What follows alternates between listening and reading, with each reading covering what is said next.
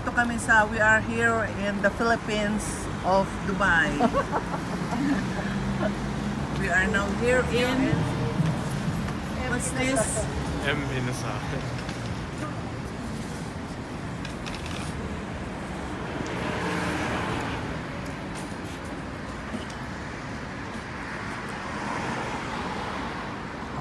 We are now here in Inasal.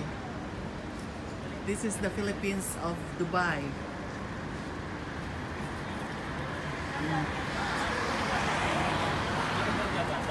These are their menu.